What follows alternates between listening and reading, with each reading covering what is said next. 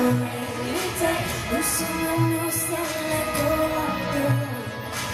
know it is never